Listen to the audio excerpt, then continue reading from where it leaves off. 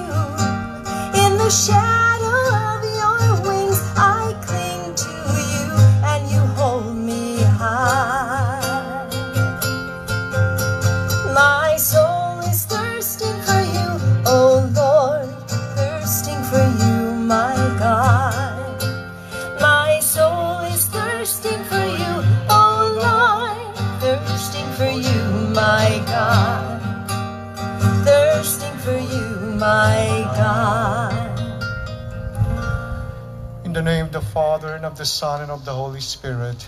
Amen. The grace and peace of our Lord Jesus Christ, and the love of the Father, and the communion of the Holy Spirit be with you all. Your spirit.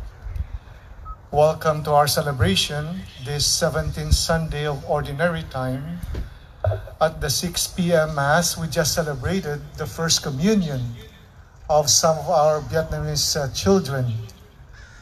And it is always exciting you know, to see their faces so uh, enthusiastic and joyful to receive Jesus for the first time. I hope that we as well could continue to uh, hold on to that excitement, that desire, that joy of receiving Jesus in the Eucharist. Let us now prepare ourselves for this celebration to receive our Lord in His Eucharist and in His Word by first acknowledging our sins, asking God's mercy and forgiveness.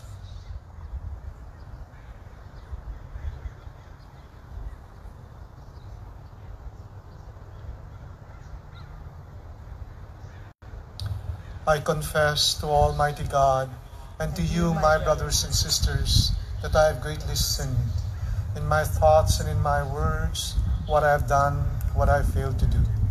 Through my fault, through my fault, through my most grievous fault. Therefore I ask Blessed Mary, ever Virgin, all the angels and saints, and you, my brothers and sisters, to pray for me to the Lord our God. May Almighty God have mercy on us, forgive us our sins, and bring us to everlasting life. Amen. Lord, have mercy. Lord, have mercy. Christ, have mercy. Christ, have mercy. Lord, have mercy. Lord, have mercy. Have mercy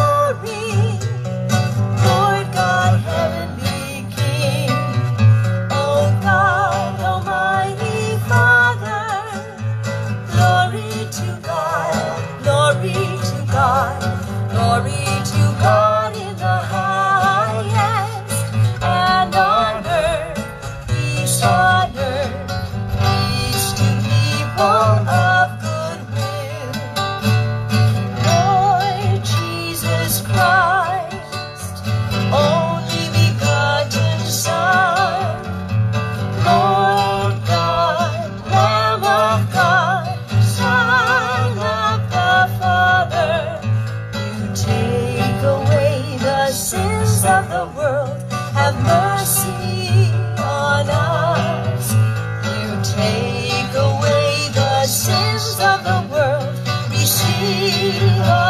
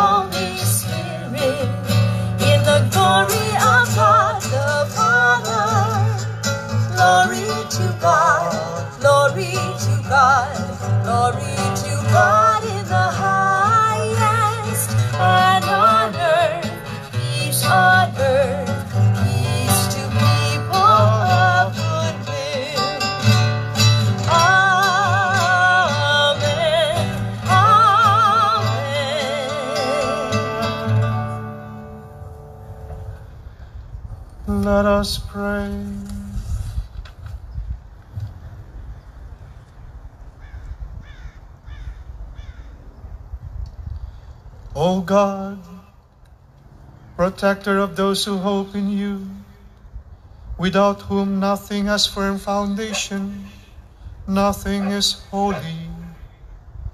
Bestow in abundance your mercy upon us, and grant that with you as our ruler and guide, you may use the good things that passed in such a way as to hold fast even now to those that ever endure. Through our Lord Jesus Christ, your Son, who lives and reigns with you in the unity of the Holy Spirit, one God, forever and ever. Amen.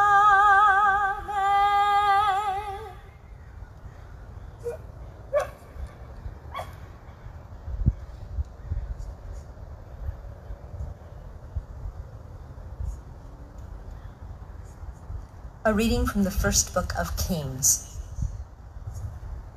The Lord appeared to Solomon in a dream at night. God said, Ask something of me, and I will give it to you. Solomon answered, O Lord, my God, you have made me, your servant, king to succeed my father David. But I am a mere youth not knowing at all how to act. I serve you in the midst of the people whom you have chosen, a people so vast that it cannot be numbered or counted. Give your servant, therefore, an understanding heart to judge your people and to distinguish right from wrong. For who is able to govern this vast people of yours? The Lord was pleased by Solomon's request. So God said to him, Because you have asked for this, not for a long life for yourself, nor riches, nor for the life of your enemies, but for understanding, so that you may know what is right, I do as you requested. I give you a heart so wise and understanding that there has never been anyone like you up to now. And after you, there will come no one to equal you. The word of the Lord.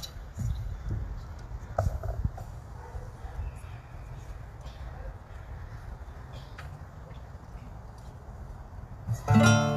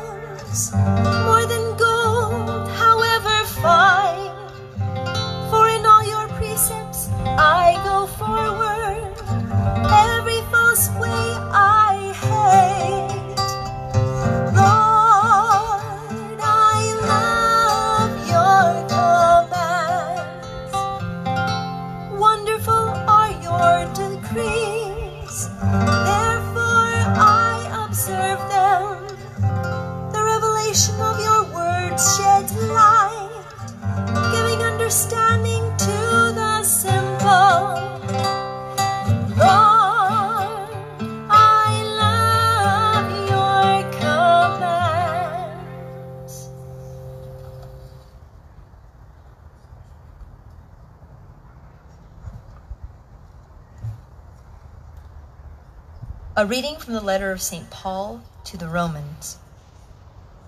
Brothers and sisters, we know that all things work for good for those who love God, who are called according to his purpose.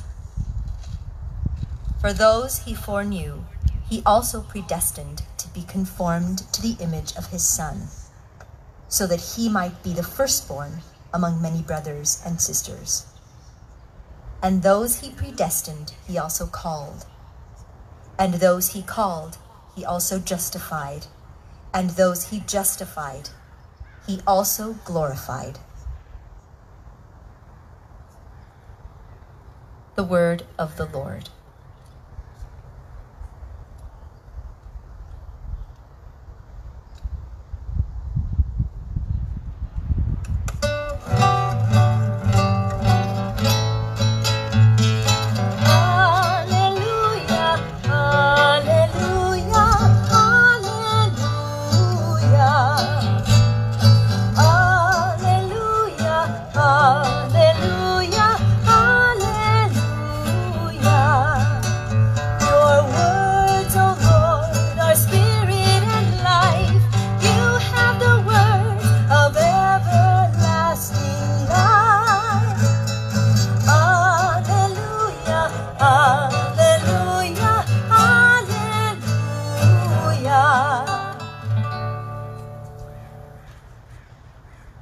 Lord be with you.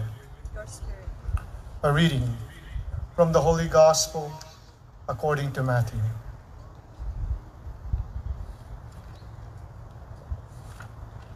Jesus said to his disciples, The kingdom of heaven is like a treasure buried in a field, which a person finds and hides again, and out of joy goes and sells all that he has and buys that field. Again, the kingdom of heaven is like a merchant searching for fine pearls. When he finds a pearl of great price, he goes and sells all that he has and buys it. Again, the kingdom of heaven is like a net thrown into the sea, which collects fish of every kind. When it is full, they haul it ashore and sit down to put what is good into buckets. What is ba- bad, they throw away. Thus it will be at the end of the age. The angels will go out and separate the wicked from the righteous and throw them into the fiery furnace, where there will be wailing and grinding of teeth. Do you understand all these things? They answered, Yes. And he replied, Then every scribe who has been instructed in the kingdom of heaven is like the head of a household, who brings from his storeroom both the new and the old. The Gospel of the Lord.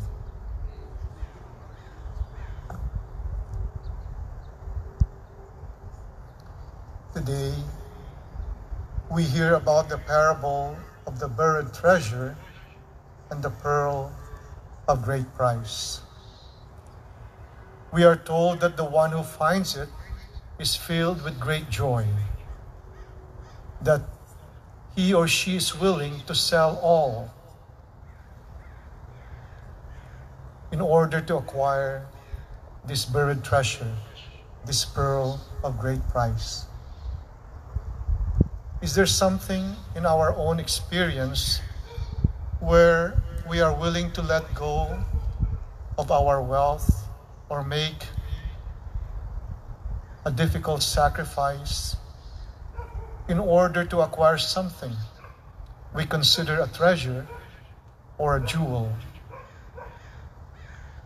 I remember when I first came here in the States as a student pursuing graduate studies in computer science, I was riding the bus from Norwalk to West Coast University in Los Angeles. So this was part of my routine. I have to uh, take two buses, make the transfer in order uh, to uh, reach my destination. One day, I saw advertised in a penny saver magazine a car for sale. I thought it was a pearl, a treasure that can bring joy and comfort in my life. So I gathered my savings that I worked hard for and bought my first car. It's like a boy having his first bicycle. So I used this car to go to school and to go home, which made my life easier. I used this car to visit and date the girl that I was courting when I was pursuing my degree. I carefully maintained this car myself, washing it, changing the, ba- uh, the, the batteries, maintaining it, tuning, tuning it. But over the years, the value of this treasure, the glitter of this pearl started to dim and lose its brilliance. Dings started to appear like any car. Parts started to wear out and fail. It got wrecked in an accident. Thank God I was not seriously hurt. Eventually, I let go of the car. In our gospel today, the buried treasure and pearl of great price that Jesus is talking about is one whose value and glitter and glitter do not fade nor dim, but last for all eternity. It is the kingdom of heaven, our home with God, our love relationship and life with our Heavenly Father, with Jesus and the saints. This is the buried treasure and pearl of great price that we need to find, acquire, and hold on to. At the end of our journey here on earth, what really matters is whether we found God, held on to our relationship with Him, and lived our lives according to His plan and dream for us. One of the Beatitudes in the Gospel says, Blessed are the single hearted, for they shall see God. This single hearted person that the Beatitude talks about is one whose central focus and absolute priority is God. So much so that he or she is willing to let go of other things, wealth, belongings, attachments, material things, just to hold on to God and His kingdom. My brothers and sisters, by virtue of our baptism, our incorporation into the Catholic Church, and the faith that we have received, we all have found this buried treasure, this pearl of great price, who is God, our relationship with Him, our home in heaven reserved for us. Finding this treasure is one thing, holding on to it is another.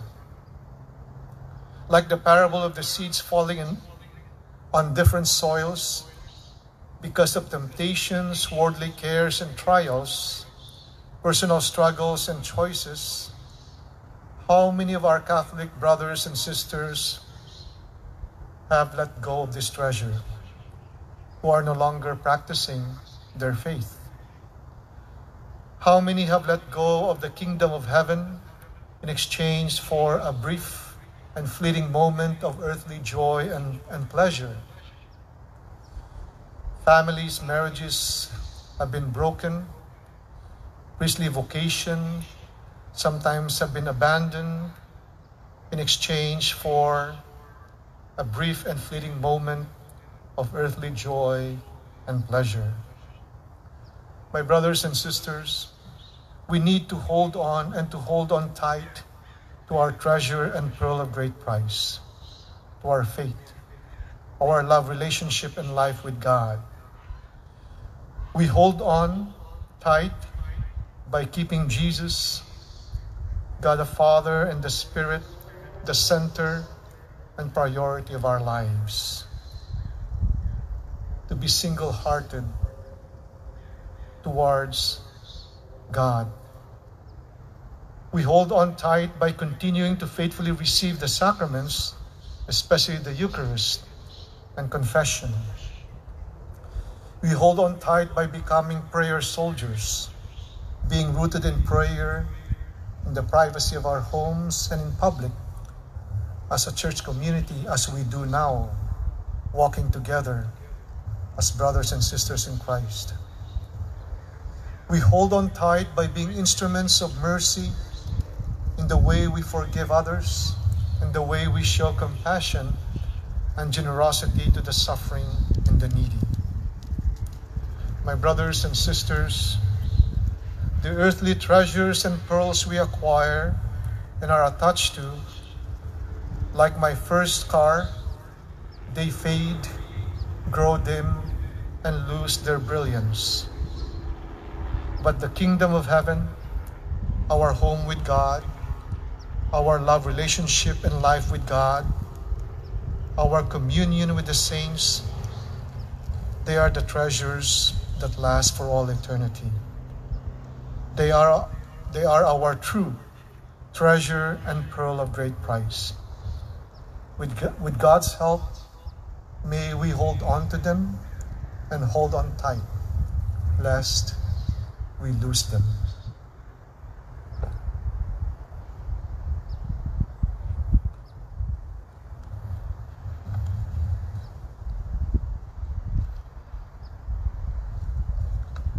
This time we profess our faith in the Most Holy Trinity.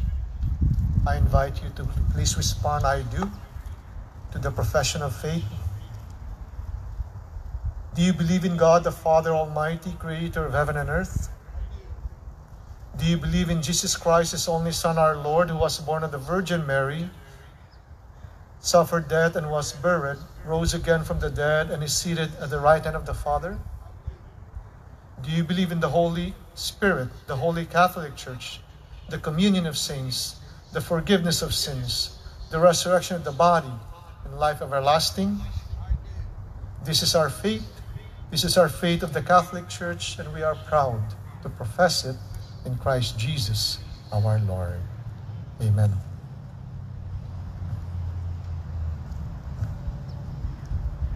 We know that God will never abandon us, so we cry out with our needs and the needs of the world, knowing that we will be heard.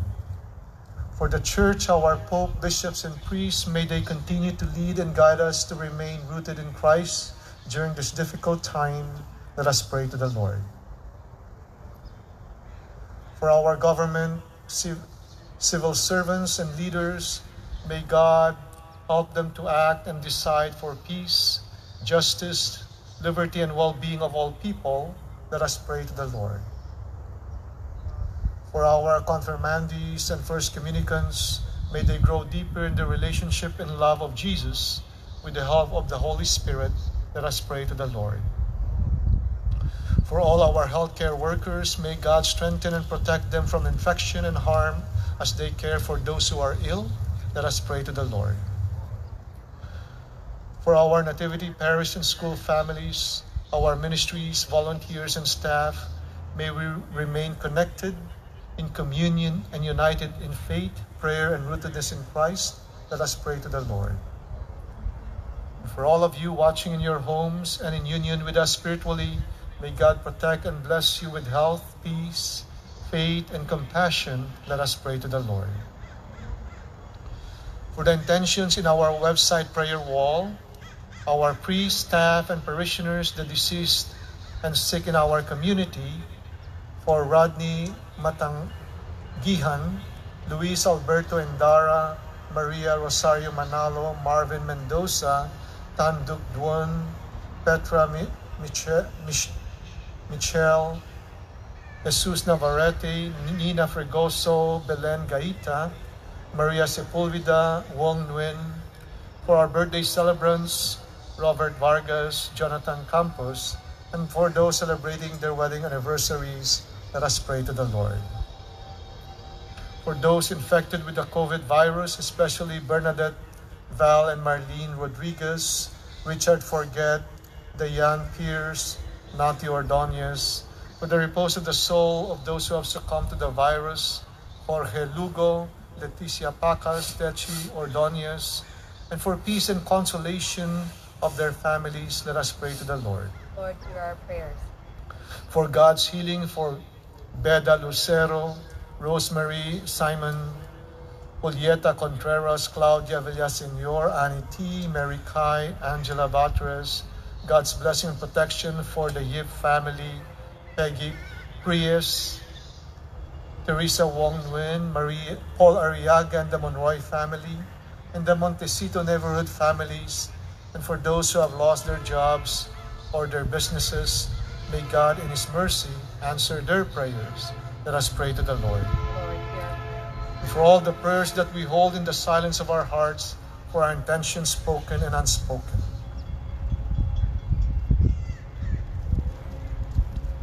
For all these, let us pray to the Lord. God of life, you are the source and destiny of our lives.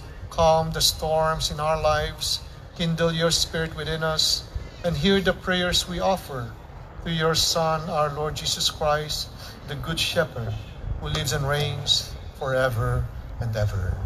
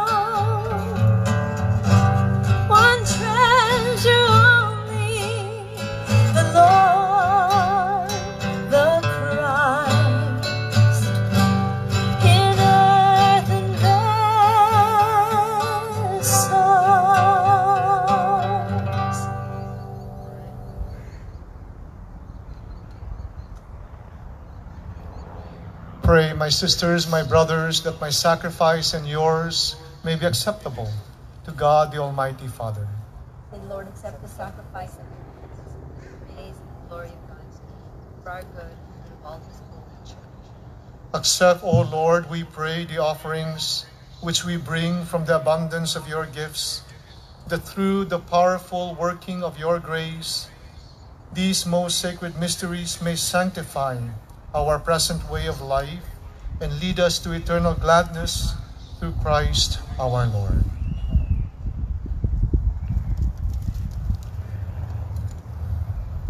The Lord be with you. With your spirit, Lift up your we hearts. lift them up Lord. Let us give thanks to the Lord our God. It is right and just. It is truly right and just, our duty and our salvation, always and everywhere to give you thanks. Lord, Holy Father, Almighty and eternal God, for you so loved the world that in your mercy you sent us the Redeemer to live like us in all things but sin, so that you might love in us what you loved in your Son, by whose obedience we have been restored to those gifts of yours that by sinning we had lost in disobedience. And so, Lord, with all the angels and saints, we too give you thanks as in exaltation we acclaim you. Holy,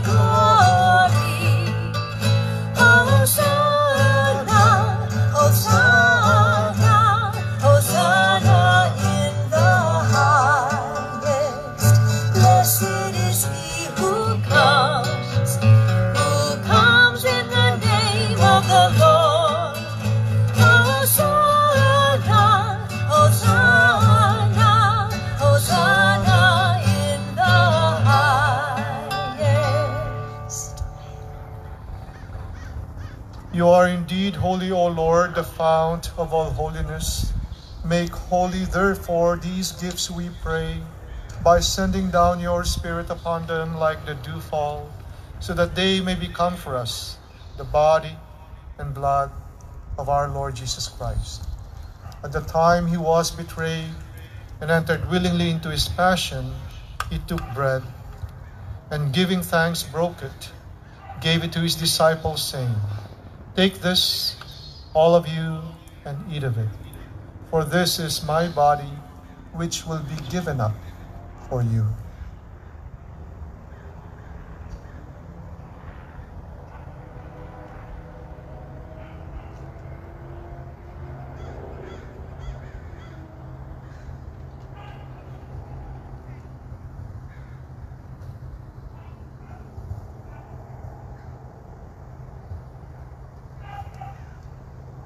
In a similar way, when supper was ended, he took the chalice and once more giving thanks, he gave it to his disciples, saying, Take this, all of you, and drink from it. For this is the chalice of my blood, the blood of the new and eternal covenant, which will be poured out for you and for many for the forgiveness of sins. Do this in memory of me.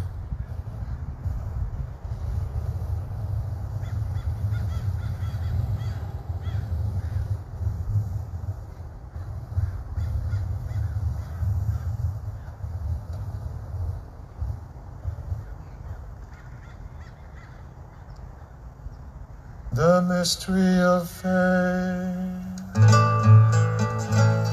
Proclaim your death, O Lord, and profess your resurrection until you come again.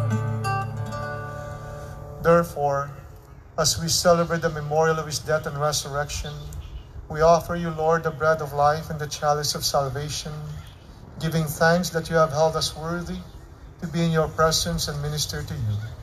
Humbly we pray that partaking of the body and blood of Christ, we may be gathered into one by the Holy Spirit. Remember, Lord, your church spread throughout the world, and bring her to the fullness of charity, together with Francis, our Pope, Jose, our Archbishop, our auxiliary bishop, bishops, and all deacons.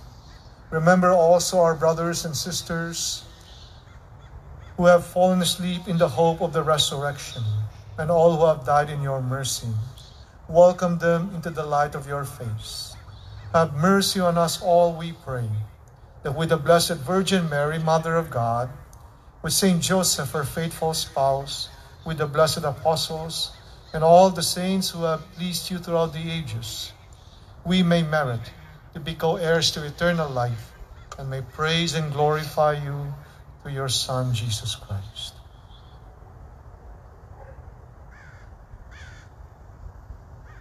Through him and with him and in him, O God Almighty Father, in the unity of the Holy Spirit, all glory and honor is yours forever and ever.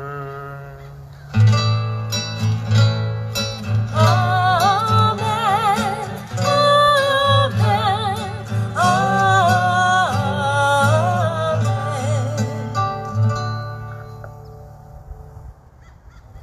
At the Savior's command and formed by divine teaching, we dare to say, Our Father, who art in heaven, hallowed be thy name. Thy kingdom come, thy will be done, on earth as it is in heaven. Give us this day our daily bread, and forgive us our trespasses, as we forgive those who trespass against us. And lead us not into temptation, but deliver us from evil. Deliver us, Lord, we pray, from every evil. Graciously grant peace in our days, that by the help of your mercy, we may be always free from sin and safe from all distress, as we await the blessed hope and coming of our Savior Jesus Christ. Kingdom, power, and glory Lord Jesus Christ, who said to your apostles, Peace I leave you, my peace I give you. Look not on our sins, but on the faith of your church, and graciously grant her peace and unity in accordance with your will, who live and reign forever and ever. The peace of the Lord be with you always. Let us offer each other the sign of peace. Peace, peace, everyone.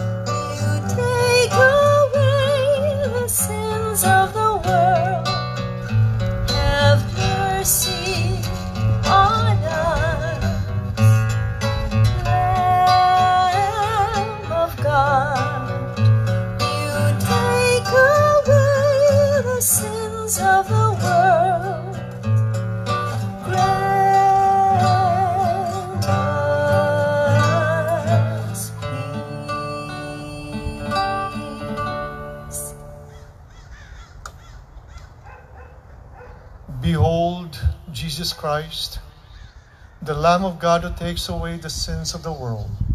Blessed are those called to the supper of the Lamb. Lord, I'm not worthy that you should enter under my roof, but only say the word, and my soul shall be healed.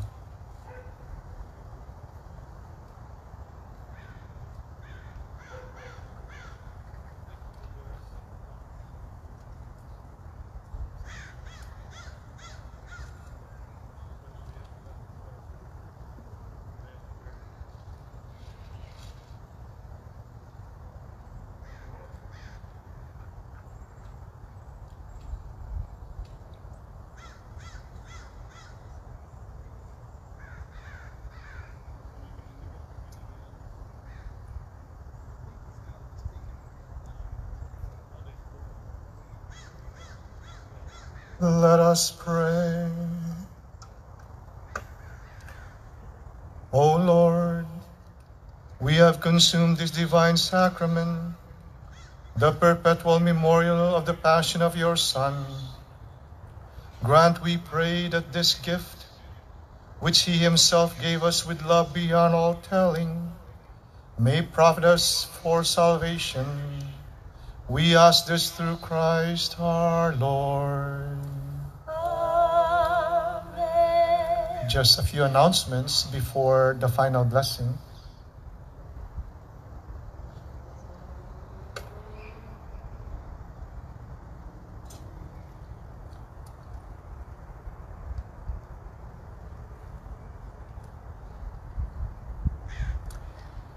We congratulate all our first communicants and their families.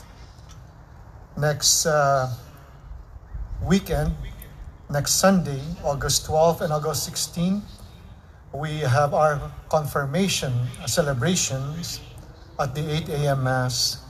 Please keep in your prayers our young people who will receive their confirmation on these two Sundays. Please visit and explore our website, nativityelmonte.org. One word, nativityelmonte.org. Using our website, you can now access the readings and song lyrics for the Sunday Mass. You may also offer Mass intentions online, submit prayer requests to our prayer wall, make your sun, Sunday contribution, view our live stream ma- Sunday Masses, and see some of our parish photos and videos and more. So visit our website and just get uh, familiarized with the things that we have in our website. Have a beautiful weekend and Sunday uh, to all of you.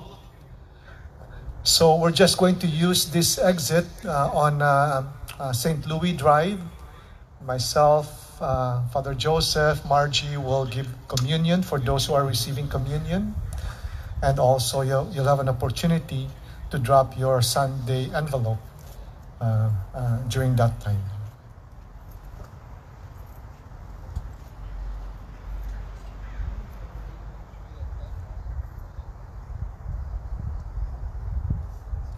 The Lord be with you.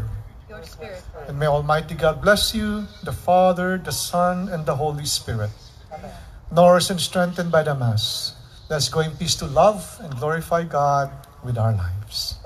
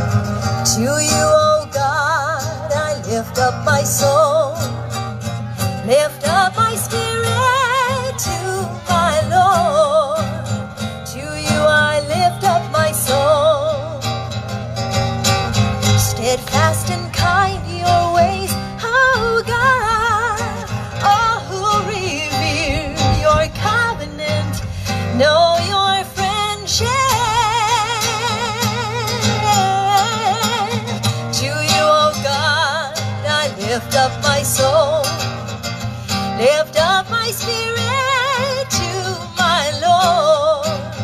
To you I lift up my soul. To you, O oh God, I lift up my soul. Lift up